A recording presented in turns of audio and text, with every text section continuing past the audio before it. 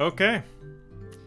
Hey guys, welcome back to the channel. My name is Brian from Khux Nation, and in today's video, we're going over the latest medal that came into Kingdom Hearts Union Cross. It is also featuring Black Friday deals, whole slew of them, uh, and I'll be going over those in a second as well. But uh, that'll be towards the later portion of the video. We're going to cover the medal and the banner itself first. So just jumping straight into things, obviously, as you can see on the screen, we have a brand new Sephiroth medal in the game. Supernova Plus Plus Kingdom Hearts De Sephiroth Dissidia, which is just is an interesting name in my opinion. Um, but we got a new Sephiroth medal in the game. All right. However, the first thing worth noting before you even know what the heck he does is the fact that he is a 15 mercy pull.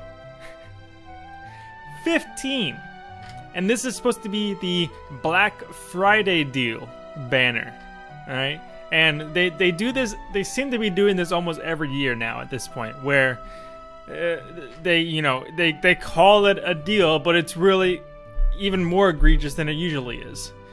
Um, because, I mean, obviously, for any of you who happen to be playing even remotely, you know, somewhat constantly or like uh like you even play on a somewhat regular basis. You know that banners never go higher than like 10 mercy because 10 mercy is already a lot. That's 30,000 jewels typically. So 15 mercy is 4,500 jewels. But you know they give you the first draw free right What a steal! It's really not. You're still spending forty-two thousand jewels just to mercy this thing, and like Jesus Christ, that's that's a that's ridiculous. Um, just by the tone of my voice and stuff, you you can probably already tell what my you know advice is going to be in terms of whether or not to pull for this video. But anyways, going on to the actual medal itself. Okay. I will say though, I like the artwork, even though it kind of looks like someone just kind of easily photoshopped it I'll just leave it at that. Um, anyways, the actual ability itself, though, uh, Sephiroth Dissidia has 43,000 strength, which is huge. Uh, is an uh, has a ah can't speak today. Costs four gauges, is tier 10, has a damage multiplier of a 67.03 to an 80.64, so one of the highest in the game. Um, is an AoE medal, does three hits for one turn increases the power medal strength by 2500, currently the highest in the game. All right. Uh, increases, or, you know, yeah, increases your general strength, reverse strength, and power strength by 15 tiers. Lowers the target's general defense, reverse defense, and power defense by 15 tiers. Increases, or, yeah, guilt buff by 200%. Does more damage the higher your HP. Also does pierces enemies' defenses by 30, you know, 30% at the time. Okay. Supernova, 220 multiplier. AoE has mastery mechanics, so basically it does more damage against super effective uh, targets compared to normal. Uh, for one turn, increases power medal strength by 5,000, increases your reverse strength by 15 tiers, uh, debuffs the enemy's reverse defense by 15 tiers, increases your guilt buff by 300%. Okay, also triggers before slot 1 is activated when defending a PvP. Alright, so, in terms of how good Sephiroth is, quite literally, he's one of the best medals in the game. Um, in terms of multipliers, he's one of the he's one of the strongest medals in the game. He's always going to have that 80 0.64 multiplier just because of the fact that uh, his damage condition is the higher HP, and you're pretty much always always going to have hot, you know max HP uh, because of the fact that if you're using Kairi A, she refills HP to max, or or Xion A, she she refills HP to max, as well as Naminé, the new Naminé also refills HP to max. So it's like this ain't even a problem. You're pretty much going to hit that 80.64 almost every single time. Um, so, and that's currently one of the highest multipliers in the game. Um, I think there's only like, I think the highest multiplier is like an 81 or 82, so it's really not that far off at all. Uh, I will say as well too that the fact that it increases all of your necessary buffs and debuffs, at least for power, anyways, power and reverse, to max is also something worth noting. Um, so it is kind of self-sustaining. Uh, assuming you're working with, like, let's say Darkgnaw, for instance, you're working with a pure power reverse Keyblade, uh, which is Darkgnaw. You could technically just have Sephiroth in your first slot and just start doing max damage. Uh, don't even need like the buffer medal. Assuming you're, you're, trying to kill something in one turn, I should add. Obviously, you still want the second chance if you're trying to live for multiple turns, but that's just you know a technicality. Like uh, this is assuming you just if you really wanted to, you could. Uh, wouldn't recommend it, but you could type of thing. Uh, this, but the real kicker here, realistically, is the fact that it increases power medal strength by 2,500.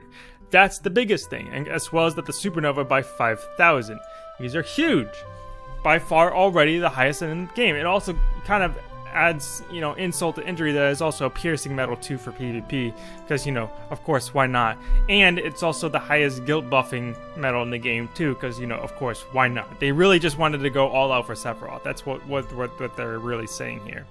Um, which isn't anything do, too different because they kind of it's kind of been a uh, running theme throughout the years is that whenever a new Sephiroth medal comes out, it's usually uh, going to be the forefront of what new medals are going to look like and stuff.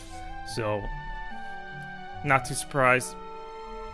Um, now, in terms of whether or not like how good it is across like the meta and setups and stuff like that, my biggest thought is that it Sephiroth is basically just gonna help make power setups on par with like speed setups now, essentially. Because even if you're using, uh, let me go to tracker for instance. Okay, even if you're using like Fenrir for example, okay, where it only has that one uh, power reverse slot. If tracker wants to load up, where it only has that one power reverse slot, you can like assuming like Sephiroth has like plus five or I mean not plus if it has like extra attack or something you can still get a good chunk of uh, buffs just from Sephiroth himself. So if you had like Sephiroth here in this four slot and you still had like uh, the other buffer medals in these other slots so what is it like? So if, if we do something simple like this and you also had like Naminé in slot one and stuff like you can easily get a good chunk of buffs now okay? Um, power is currently before Sephiroth, power was currently the weakest uh, attribute in the game at the moment, just because of fact it simply lacked any decent uh, medal buffing medals at the moment. Okay, it had the least amount of them, especially the ones that are currently cropping up as part of the meta. Um, right now, all of the ones that have been cropping up as part of the meta are all speed upright uh, and very little has been actually added to magic or power, uh, especially power. But at the very least, Sephiroth now, like if you put in the four slot, for instance, for just Fenrir, that's not even counting Darkgnaw, just Fenrir, that alone will already increase your medal strength a whole crap ton. Okay, now normally in the past you probably have like the uh, Angelic Amber right here in order to copy whatever uh, medal Oops, I spelled that wrong. In order to copy whatever medal, in this case Terra, okay, in order to get those extra buffs, um, throughout like just three, these three medals alone, for instance, you would get about 9,000 extra strength, okay? That's just on the Keyblade, that's not counting the Spirit slot and whatnot, but you get about 9,000 strength right here. But if you switch out the Angelic Amber for Sephiroth right here, you're actually getting 3, 6, 11,000 strength total instead. And that's just by swapping that out with Sephiroth. And this is assuming they all had extra attack. Okay, so it's a it's a good chunk of good chunk of uh, difference. I think I did my math right. Yeah, yeah, good chunk of difference.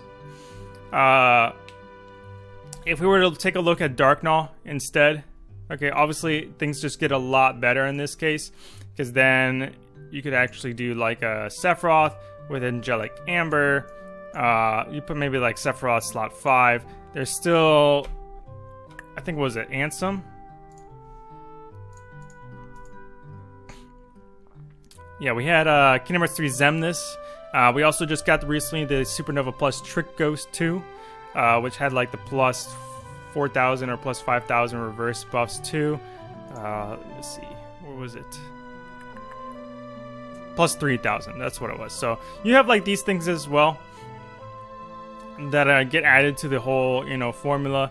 Uh, so overall total, you can get about 15, 45, uh, 10,000.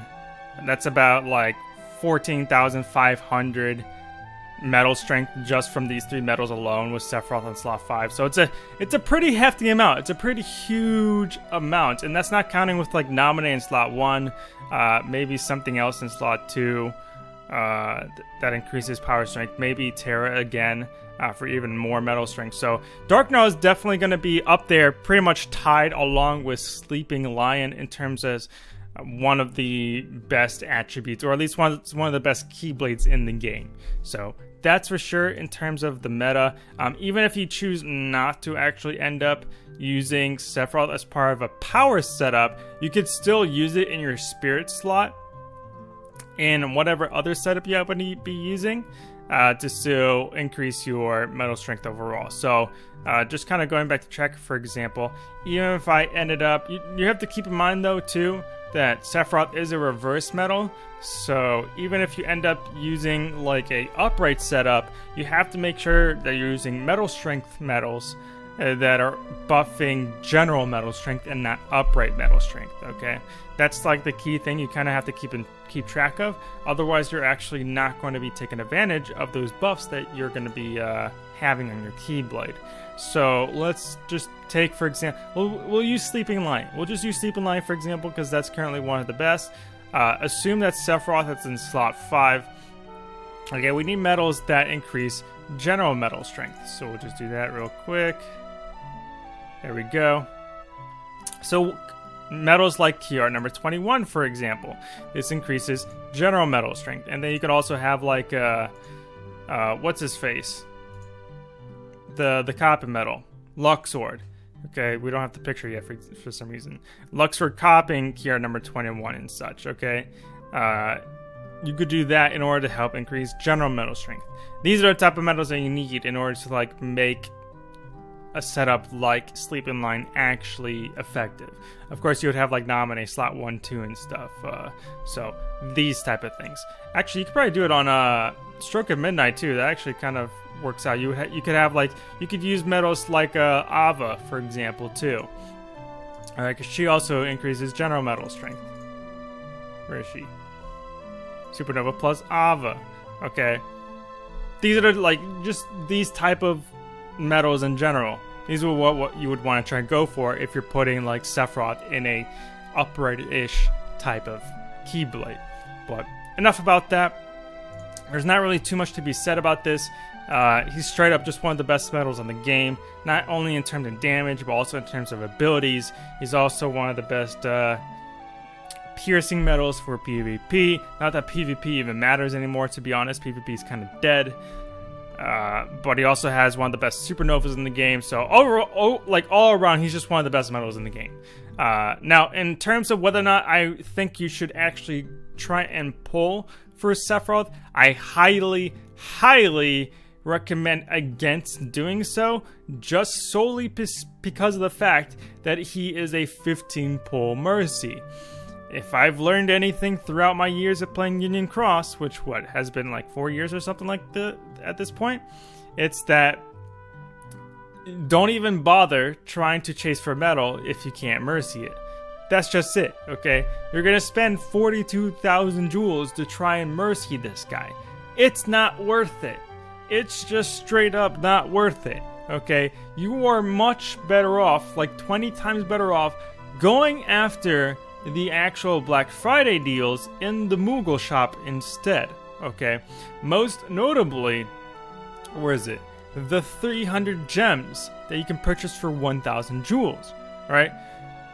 And I actually went after these myself too.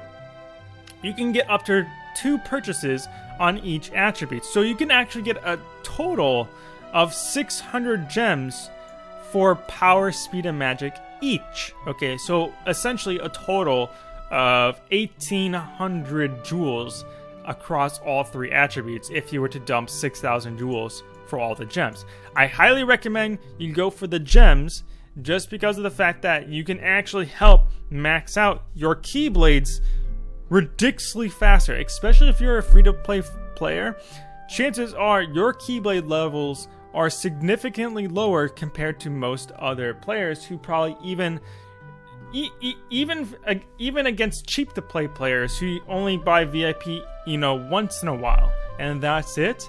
Chances are, as a free to play player, your Keyblade levels are significantly lower than theirs are, just because of the fact that VIP players do get free gems as part of the VIP deal. Alright, so this is your chance to significantly raise your Keyblade levels to up to at least 40 each for some of your best Keyblades. Like right now, I pretty much have all of my best Keyblades up to at least 40, okay? I have all my reverse Keyblades up to 40. I have all, uh, or should I say, I have all of my mono attributed Keyblades up to 40 essentially. I have Sleeping Lion, Counterpoint, and Fenrir at least 40. Okay, I have my uh, reverse mono attribute Keyblades up to 40 as well. Missing Ache, uh, Diamond Dust, and Darkgnaw. They're, they are all at 40. I even have my Stroke of Midnight and Fairy Stars at 40 as well, just because I have a ridiculously extra amount of gems. Um, and I wanted them to at least be remotely around the same power level. So, and if Bad Guy Breaker could have been upgraded even further, I would have upgraded that to 42. Like you, you can easily upgrade all of your Keyblades to at least like around 40 more or less. Um, even if you're a brand new player, you can easily get it up to a really, really high level. So I highly recommend you go after the gems as much as possible. Uh, I also recommend too that if you do care about PvP, um, or you still need some like of the Meow-Wows or whatever from PvP, get the defense boost 6 max for 1000 jewels as well. You can get up to two copies of it. Alright? That's going to be important. Now, whether or not PvP is ever going to become relevant again is remains yet to be seen. Um, I don't think it's going to be relevant anytime soon, but it doesn't hurt to at least have a couple extra copies of the best defense uh, skill in the game just in case. Uh, also helps in case as well if you happen to want to do any turtle strategies, uh, if you happen to not have any of the strongest actual damage medals in the game for other content too. So that's also worth noting. Um, we also have attack boost 8 max and Lux Plus Plus as well for any of you hardcore rating people out there. Um, like right now, the deal the Moogle deals are probably the better deals across the whole thing. The Supernova banner, this is not a Black Friday deal. This is a laughing stock of a of a deal. Okay, quote unquote deal. Don't even do this. Just go for the Moogle stuff. Now, in terms of whether or not what I think about the uh, actual returning medals that are on sale too, they're for 5,000 jewels each. Okay, uh, Supernova Plus, Kingdom Hearts 3 Pirate Sora, Kingdom Hearts 3 Kairi B, Kingdom Hearts 3 Aqua, Ultimate Form Sora, and Kingdom Hearts 3 Dark Baymax. I highly recommend you don't go for any of these. The only ones, if you really need to get any of these, the only ones I would even remotely get are Ultimate Form Sora, and that's pretty much it. Maybe Aqua, okay, if you're severely lacking in magic upright medals that are buffing uh, medal strength, but like that's it. Okay, I, I, I, like ultimate form Sora would be the only medal amongst all of these I would even consider getting. Otherwise, like you can pretty much skip all of these medals. Um, the trait medals they say is going to rotate, so that kind of just remains to be seen. It just kind of depends on what you need and stuff. Uh, you're getting 99 trait medals for 1,000 jewels. That pretty much almost guarantees you that you can get your the best traits on whatever the medal is that you happen to get 99 traits for. Uh, so that's just on a you know on a case by case basis, uh, depending on what you need as a player. But at the very least, I highly recommend the gems. Okay, because that is by far the biggest like that's an actual deal for us players. The best we've ever seen, even as a VIP player, was the 100 uh, gems uh, deal, uh, specials that they would do uh, at times uh, for a specific attribute for VIP. That was the best we ever saw. So the fact that we're getting 300 Okay, up to two times for each attribute. That's insane. Highly recommend the gems, um, and maybe some of the skills. But other than that, oh, I forgot to mention as well that they do have the uh, all of the best traits in the game for 1,000 jewels as well, uh, up to five times. So if you need any uh, of your, if any of your best, strongest medals in the game are missing any particular traits, such as minus 60 or extra attack, that's also worth considering as well. These, like these, like quite honestly, just go for the Moogle shop. That's your best bet. It completely ignored the Sephiroth banner. That is a scam. Uh, don't even bother. But other than that, that's essentially it for today, guys. Go ahead, let me know what your thoughts and opinions are about the current. Oh, oh, I uh, almost forgot to mention. Uh, don't go completely nuts over these uh, deals just yet, just because the fact that they did mention that this is only part one of the Black Friday sale, that there is going to be coming a, a part two of the sale as well sometime later. They didn't mention when, they just said there's going to be a part two. And who knows what's going to be the part two. If the Moogle shop is already looking this good, um, I'm kind of curious what part two is going to be. But okay, and th that's actually it for now. well, other than that, go ahead let me know what your thoughts and opinions are in the comment section down below. If you enjoyed the video, please leave a like, subscribe, and hit that bell button. It's the best way to know when I upload more videos such as this one. My name is Brian from Khux Nation. I'll see you guys in the next video. Peace, guys.